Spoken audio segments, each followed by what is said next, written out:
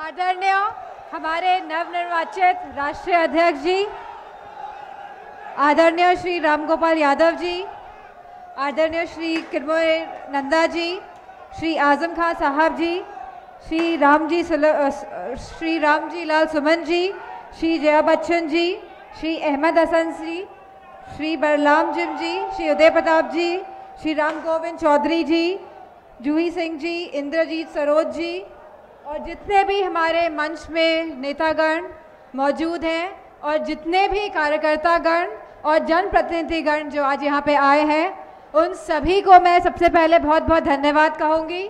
और साथ में बधाई भी देना चाहूँगी हमारे नवनिर्वाचित राष्ट्रीय अध्यक्ष जी को। और जो सबसे पहली पंक्ति मैं कहना चाहूँगी, वह यह है कि नेताजी का आशीर्वाद हमारे नवनिर्वाचित राष्ट्रीय अध्यक्ष जी के साथ तो है ही।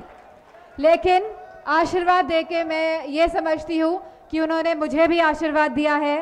मंच में जितने नेतागण मौजूद हैं यहाँ पे, सबको आशीर्वाद दिया है, सब जनप्रतिनिधि गणों को आशीर्वाद दिया है और पूरी समाजवादी पार्टी को आशीर्वाद दिया है और मैं उन्हें बहुत बहुत धन्यवाद देना चाहूँगी अब जो नई सरकार बनी है जो नई सरकार बनी है, जब वह नई सरकार इन मुद्दों पे आई है कि कब्रिस्तान और शमशान वाले मुद्दों पे आई है, जो दिवाली पे कितनी बिजली आई है और रमज़ान पे कितनी बिजली आई है, इस मुद्दे पे सरकार आई है तो मुझे उम्मीद नहीं है कि ये सरकार कोई काम करने आई है।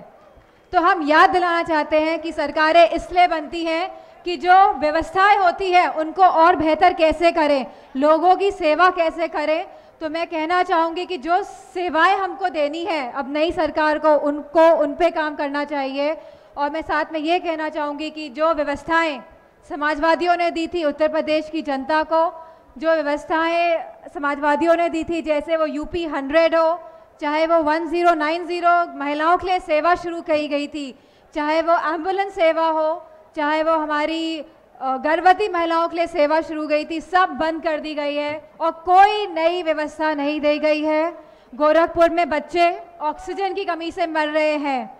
वहीं पे हमारी बीएसयू की छात्राएँ हैं, जो हमारी बीएचयू यूनिवर्सिटी के, उनको लाठियाँ दी जा रही है। और वो भी एक पुलिस वाले से, महिला पुलिस वालों क्यों नहीं वहाँ पे दी गई? अगर ऐसी व्यवस्था क्यों नहीं दी गई हमारी छात्राओं को और उन्हें मर्दों द्वारा चाहे वो मर्द पुलिस वाले थे, लेकिन क्यों व्यवस्था नहीं गई थी सरकार को कि वहाँ पे पुलिस महिला मौजूद है उन महिलाओं के लिए, उन बच्चियों के लिए? तो क्या ये सरकार इसलिए आई है कि हमारी बेटियों को, हमारी बच्चियों को लाठी बरसाए, कि हमारे शिक्षा मित्रों पे लाठियाँ बरसाए ये हमारी आंगनबाड़ी कार्यकर्ताओं पर लाठियाँ बरसाए? तो मैं समझती हूँ ये लाठी वाली सरकार आई है और इन्हें कोई काम नहीं करना है, खाली झूठ फैलाने का काम करना है और समाज को विभाजित करने का काम करना है। तो मैं समझती हूँ आज का जो ये अधिवेशन बुलाया गया है, इसमें राष्ट्रीय अध्यक्ष जी की तो बहुत बड़ी ज़िम्मेदारी अब बनती है। मैं समझती हूँ क्योंकि पार्टी को आके लेके जाना है और चुनाव बहुत नज़दीक हैं, जैसे सब बता रहे हैं 2018 के अंत में ही चुनाव होने जा रहे हैं और ये अब आप सबकी भी ज़िम्मेदारी बनती है कि आप लोगों तक बातें पहुंचाएँ, जो समाजवादी पार्टी के जो उसूल हैं, जिसमें हम नेताजी ने हमें हमें बढ़ना सिखाया है कि शिक्षा मुफ़्त हो, सिंचाई मुफ़्त हो गरीबों के साथ खड़े हुए, किसानों के साथ हम लोग खड़े हुए और पिछड़ों के साथ खड़े हुए। ये इन सब चीज़ों को लेके हमें आगे बढ़ना है। और मुझे पूरी उम्मीद है, मुझे पूरी उम्मीद है कि हम सब ये ज़िम्मेदारी बखूब निभाएँगे।